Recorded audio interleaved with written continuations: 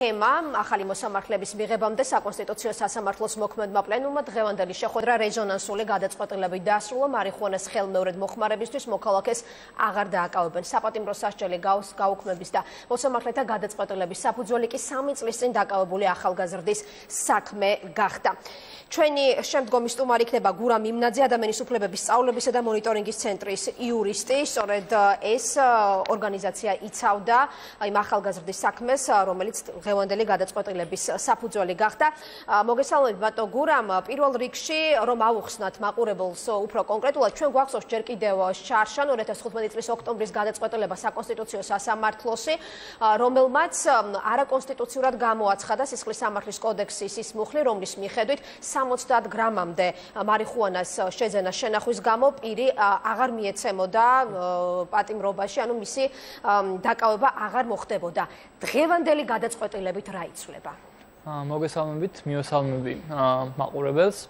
აა დღევანდელი გადაწყვეტილებით, ну პირველ რიგში რადგან თქვენ უკვე ახსენეთ ერთი წლის წინანდელი გადაწყვეტილება ბექაციქარიშვილის საქმეზე, აა ჯერ იმ საქმეთ რა მოხდა ამას უკვე და უკვე შემდეგ რა გაგრძელება მოყვა ამ პროცესებს.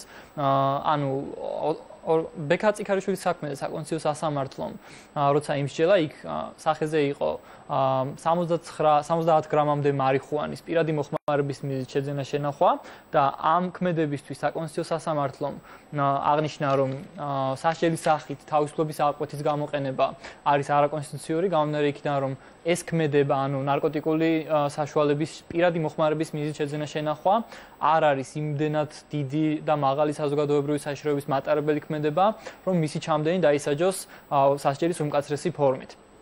ამ საკონსტიტუციო სასამართლოს ამ გადაწყვეტილების შემდეგ, ანუ 24 ოქტომბერს გამოვიდა შარშან ერთი წლის წინ ეს გადაწყვეტილება. ამ პროცესის შემდეგ, ანუ ამ გადაწყვეტილების შემდეგ, ლოგიკური ლოგიკური გაგრძელება ამ გადაწყვეტილების უნდა ყოფილიყო ის, რომ საკანონმდებლო ორგანოს, ანუ პარლამენტს მიეღო შესაბამისი ახალი კანონი, რომელიც დაარეგულირებდა აღნიშნულ ურთიერთობებს, ანუ დაარეგულირებდა ნარკოტიკული საშუალების პირადი მოხმარების მიზეზით შეძენა შენახვის, ასევე მისი მოხმარების საკითხებს და განსაზღვრავდა იმ ისეთ სასჯელებს, რომელიც აღარ იქნებოდა საქართველოს კონსტიტუციასთან წინააღმდეგობრივი. ამის მიუხედავად, მიუხედავად იმისა, რომ თითქმის 1 წელი გავიდა ბექაციქარიშვილის საქმეზე გადაწყვეტილების გამოტანიდან, პარლამენტს არ მიუღია ახალი კანონი, და შესაბამისად ეს კანონის არ მიღება ქმნიდა გარკვეულ გაუგებრობებს საერთო სასამართლოების სისტემაში ყოველდღიური მართლმსაჯულების განხორციელების დროს. და სწორედ ამიტომ უზენაესმა სასამართლომ მოგვიანებით უკვე მიმართა საკონსტიტუციო სასამართლოს მსგავსი შემთხვევის თაობაზე. ანუ ამ შემთხვევაში უკვე საკონსტიტუციო სასამართლოს წარდგინებები ეხებოდა არა მარიხუანის შეძენა შენახვას არამედ მარიხუანის განმეორებით მოხმარებას რაც ასევე ითვალისწინა ასევე შეიძლება დასჭირიყო თავისუფლების აუკვეთით ერთ წლამდე ვადით. სწორედ იქიდან გამომდინარე რომ ეს ეს საკითხიც არ იყო მოწესრიგებული კანონმდებლობით ახლებურად, იზოლებული გახდა უზენაეს სასამართლო რომ მიემართა საკონსტიტუციო სასამართლოსთვის და ჩვენ ამ წარდგინებაზე სწორედ დღეს ვიხილეთ უკვე საკონსტიტუციო სასამართლოს გადაწყვეტილება, რომლითაც კიდევ ერთხელ საკონსტიტუციო სასამართლომ ამჯერად უკვე პლენუმმა დაადასტურა ის პრინციპი, რომ ადამიანის იზოლაცია, ანუ მისთვის უმკაცრესი ფორმით ფორმის სასჯელის გამოყენება არის არაკონსტიტუციური, თუკი მისი ქმედება არ არის შესაბამისი საზოგადოებრივი საშიშროების მატარებელი. თუმცა დღეს თქვენ აღნიშნეთ, რომ დღევანდელი გადაწყვეტილება მაინც არ არის საკმარისი და გადასახედია მთლიანად ნარკოპოლიტიკა. რას გულისხმობთ კონკრეტულად? კიდევ რა ცვლილებებს ითხოვთ? პირველ რიგში თვითონ საკონსტიტუციო სასამართლოს სპეციფიკა არის ასეთი, რომ ეს სასამართლო ვერ იმსჯელებს სისტემურ პრობლემაზე თლიანობაში. სასამართლოს შეუძლია იმსჯელოს ხოლმე და მხოლოდ იმ ნაწილით, იმ და იმ ნაწილზე, რაზეც არის წარდგინ, რაზეც არის ყურადღება გამოხდებული კონკრეტულ სარჩელში თუ ამ შემთხვევაში სასამართლოს წარდგინებაში. შესაბამისად, საკონსტიტუციო სასამართლოს გადაწყვეტილებები მხოლოდ მხოლოდ ფაქტო მხოლოდ მხოლოდ გარკვეულ ნაწილს არეგულირებს იმ პრობლემებისას, რასაც ჩვენ ვეძახით თლიანად ნარკოპოლიტიკას და ნარკოპოლიტიკაში დღეს არსებობს სისტემური პრობლემები იგივე რომ თქვა თუნდაც საკონსტიტუციო სასამართლოს ეს ორი გადაწყვეტილება როგორც ბექა ციხარიშვილის საქმეზე ისევე დღევანდელ დღევანდელი გადაწყვეტილება ეხება მხოლოდ მარიხუანას, მაშინ როცა გვაქვს ძალიან ბევრი სხვა ნარკოტიკული საშუალება, რომლებზეც დღემდე კერძოდ, კერძოდ რას გულისხმობთ კიდე? ანუ დღემდე ძალიან ბევრი ნარკოტიკულ საშუალებას, ძალიან ბევრი ნარკოტიკული საშუალების მოხმარებისთვის ადამიანები შეიძლება წავიდნენ ციხეში, ასევე ძალიან ბევრი ნარკოტიკულ საშუალებას არ აქვს ცირე და საშუალო ოდენობები განსაზღვრული და მათი უმცირესი ნაწილაკებით აღმოჩენის შემთხვევაშიც კი, რომელიც შეიძლება იმდენ ცირე ყოფილიყო, რომ მისი მოხმარებაც კი შეუძლებელი არის, ასეთი მცირე ოდენობის ნარკოტიკის აღმოჩენის შემთხვევაშიც კი ადამიანებს შეიძლება 5-დან 8 წლამდე მოუწიოთ თავისუფლების აყვეთა პატიმრობაში გატარება.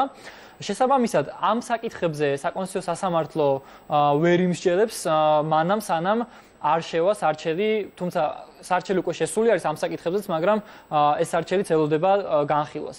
შესაბამისად, საკონსტიტუციო სასამართლო სანამ გადაწყვეტილებას მიიღებს ამ აქამდე, ანუ ასევე აღსანიშნავია ძალიან მნიშვნელოვანი ფაქტორი, რომ უზენაეს სასამართლოს აქვს უკვე გარკვეული ნაბიჯები გადადგმული ამ მიმართულებით, მაგალითად უზენაეს სასამართლომ აპრილში თავის ერთ-ერთ გადაწყვეტილებაში სწორედ ბექა ციხარიშვილის საქმეზე გამოტანილი განაჩენის გადაწყვეტილების გადაწყვეტილებას დაყნობით განაცხადა, რომ არა მარტო მარიხუანაზე, არამედ სხვა ნარკოტიკული საშუალებების მოხმარებისთვისაც კი არ უნდა იყოს თავისუფლების აყვეთა სასჯელის სახედ გამოყენებული, თუმცა ეს ყველაფერი ჯერჯერობით არის გადატანილი. თქვენი ორგანიზაცია, რომელიც უკვე წლებია იცავდა ბექა ციხარიშვილის ინტერესებს საკონსტიტუციო სასამართლოში, თუ აპირებს, რომ კონკრეტული კანონპროექტით მიმართოს ახალი მოწვევის პარლამენტს და აი რა ცვლილებების შეტანას მოითხოვთ აი ამ პროექტში?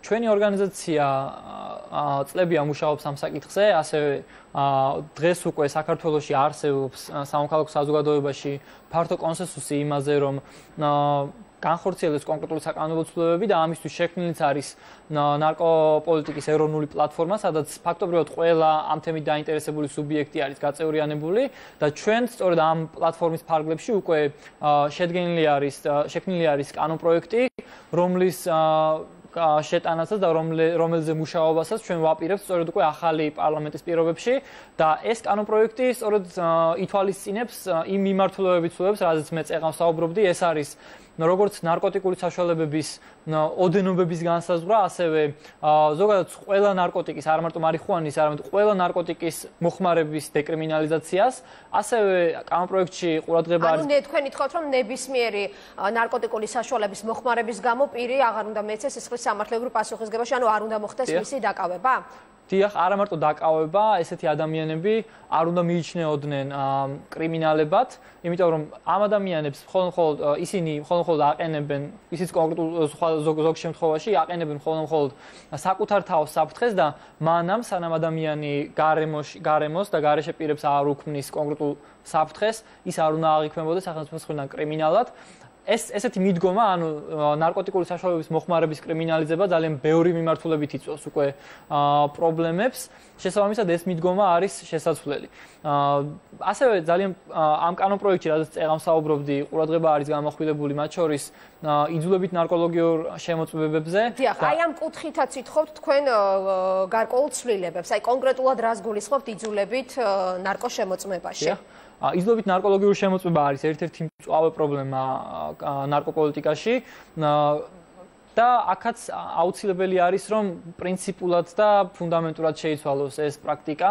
სამართლამცავებს რა თქმა უნდა კონკრეტული პირების გადაყვანა შეიძლება შეეძლოთ იზოლოთ ნარკოლოგიური შემოწმებაზე მაგრამ ეს უნდა უკავშირდებოდეს ამ ადამიანების მხრიდან კონკრეტული სამართალდარღვევის ჩადენას ან უშუალოდ მოხმარების ფაქტს, რასაც შეესწნენ სამართალდამცველები. ის საფუძვლები, რაც დღეს არის კანონებით გაწერილი, მათ შორის ოპერატიული ინფორმაცია, ტოვებს ძალიან დიდ სივრცეს სამართალდამცველების მხრიდან თვითნებურად მოქმედებისთვის. რა დროსაც ძალიან დიდი რისკები არსებობს იმისთვის, რომ შეილახება კონკრეტული პირების უფლებები თანაც საკმაოდ ინტენსიური ფორმებით და ამის პრაქტიკა ჩვენ ყოველდღიურად გასაგებია. დღეს თქვენ თქვით საკონსტიტუციო სასამართლოს გადაწყვეტილების შეფასებისას, რომ დღევანდელი გადაწყვეტილება უნდა გახდეს ფუნდამენტური საფუძველია ნარკოპოლიტიკის გადახედვის და მნიშვნელოვანი კანონში მნიშვნელოვანი ცვლილებების შეტანის. რამდენად გაქვთ იმედი, რომ პარლამენტში ახალი მოწვევის პარლამენტში იარსებებს საკმარისი პოლიტიკური ნება, აი თქვენ მიერ მოთხოვნილი ცვლილებების მხარდაჭერის მით უმეტეს თუ გავითვალისწინებთ, რომ ამ მოწვევის პარლამენტშიც იყო რამდენიმე საკომიტეტო მოსმენა, როდესაც გირჩის ქონდა კონკრეტული ინიციატივა ბარიხუანას მოხმარების დეკრიმინალიზაციის შესახებ, თუმცა საკომიტეტო მოსმენები ჩავარდა და დეპუტატების საკმარისი მხარდაჭერა ვერ მიიღო აი ამ ინიციატივამ. ახლა რამდენად გაქვთ იმედი, რომ ახალი მოწვევის პარლამენტი დაუჭერს მხარს თქვენს ცვლილებას, თქვენს ინიციატივას? გეთახმებით, პირველ რიგში უნდა ვთქვა, რომ ამ მოწვევის პარლამენტშიც ეს თემები იყო აქტუალური, თუმცა რა თქმა უნდა სამწუხაროდ ვერ მოხერხდა მათი სრულყოფილად გატანა და შესაბამისი კონკრეტულ ცვლილებებამდე მიყვანა. რაც შეეხება მომდევნო პარლამენტში ამ თემებზე მუშაობას, ეს ძალიან ბევრ ამაზე იქნება დამოკიდებული, მათ შორის იმაზეც, თუ როგორი კონფიგურაცია იქნება მომავალ პარლამენტს, თუმცა თავი არის ის, რომ დღეს ერთის მხრივ სამოქალაქო საზოგადოებაში არსებობს ფართო კონსენსუსი იმაზე, რომ აუცილებელი არის ფუნდამენტური და პრინციპული ცვლილებები და მეორე მხრივ თუნდაც თუ კი ჩვენ ჩავხედავთ პოლიტიკური პარტიების წინასაარჩევნო პროგრამებს მათ ამ პროგრამებში ძალიან აბსოლუტურ უმრავლესობაში მნიშვნელოვანი ადგილი უკავია ნარკოპოლიტიკას და ნარკოპოლიტიკის ცვლილებას. რა თქმა უნდა, იქაც განსხვავებულად არის სხვადასხვა პარტიებში ეს პრობლემა დანახული, მაგრამ ეს ყველაფერი ანუ ის ფაქტი, რომ ყველა პარტია ფიქრობს ამ საკითხზე, მიუწევს იმაზე, რომ ეს საკითხი არის აქტუალური და მომავალ პარლამენტში უკვე მასზე მუშაობა დამოკიდებული იქნება იმაზე, თუ როგორი საზოგადოებრივი ზეწოლა იქნება ამ საკითხების ცვლილებებისკენ, რამდენად კვალიფიციური და არგუმენტირებული იქნება მათ შორის სამოქალაქო საზოგადოებაც ამ საკითხების მხარდაჭერით. გარდა მიმართვისა, თქვა საკანონმდებლო ინიციატივით მიმართვისა, ხომ არ გეგმავთ კიდევ სხვა აქტივობებს, რომ უფრო გააქტიუროთ ამ მიმართულებით? ჩვენ რა თქმა უნდა ხოლმე ხოლმე პარლამენტ საპარლამენტო ფორმატში საპარლამენტო ფორმატზე იმ ფორმატის იმედზე ყოფნა არ იქნება გამართლებული. წეგან ვახსენე მე რომ საკონსტიტუციო სასამართლოშიც მათ შორის EMC-ს აქვს ანუ ადამიანის უფლებების სწავლების და მონიტორინგის ცენტრს აქვს ორი საკონსტიტუციო არჩევი შეტანილი, რომლებიც ეხება სწორედ ამ ორ ექსტრემალურ პრობლემას, ესენი არის ოდენობების განუსაზღვრელობა და ადამ ნარკოტიკულ დანაშაულს ჯარდობულ პირებისთვის დამატებითი უფლებების შელახვას. აგრეთვე ძალიან მნიშვნელოვანი იქნება პარლამენტის მიღმა სამოქალაქო საზოგადოების კიდევ უფრო გაძლიერება, რასაც რა თქმა უნდა ჩვენ პლატფორმის ფარგლებშიც და დამოუკიდებლადაც განვახორციელებთ. და ყველა ეს პირობა საბოლოო ჯამში რა თქმა უნდა უნდა აისახოს კონკრეტულ საკანონმდებლო ცვლილებაში. გმადლობთ გურამ ბენიძე ადამიანის უფლებების სწავლებისა და მონიტორინგის ცენტრის იურისტი პასუხობდა ჩვენს შეკითხვებს